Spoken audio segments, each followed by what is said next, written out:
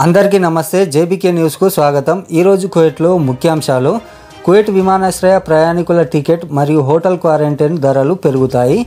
Travel and tourism కార్యాలయం నిర్వాహకులు అభిప్రాయం ప్రకారం ఆగస్టు నెల నుండి ప్రవాసీలు చేసిన రిజర్వేషన్లు దాదాపుగా చాలా తక్కువగా ఉన్నాయని ఆగస్టు ప్రారంభం నుండి ప్రవాసీలు దేశంలోకి అనుమతించాలని క్యాబినెట్ నిర్ణయం తీసుకున్నప్పటికీ వారు రెండు మోతాదుల ఫైజర్ ఆస్ట్రజెనికా మెడర్నా వ్యాక్సిన్లు లేదా జాన్సన్ అండ్ జాన్సన్ వ్యాక్సిన్ల యొక్క ఒక మోతాదు పొందినట్లయితే కువైట్ రావడానికి అనుమతించబడతారని అయితే గత ఏడాది ఆగస్టులో విమానాశ్రయానికి మూసివేసినప్పటి నుండి మరియు వారు రవాణా గమ్యస్థానాల్లో చిక్కుకుపోయినప్పుడు వారి దేశాలకు తిరిగి రావడం వంటి పరిస్థితులు పు- పునరావృతం అవుతుందనే భయంతో ప్రవాసీలు రిజర్వేషన్లకు అయిష్టతగా కారణమవుతున్నాయని తెలిపారు.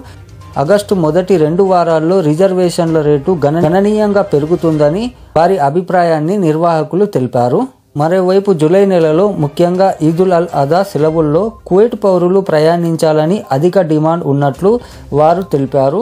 ఈ సమయాన్ని వివిధ విమాన సంస్థలు అందుబాటులో ఉన్న సీట్లన్నీ నిండి ఉన్నాయని వెల్లడించారు.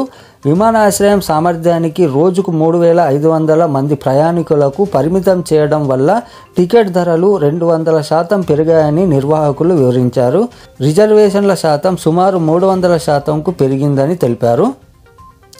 కువైట్లో ప్రపంచంలోనే అత్యధిక ఉష్ణోగ్రత యాభై మూడు పాయింట్ రెండు డిగ్రీలుగా నమోదయ్యింది.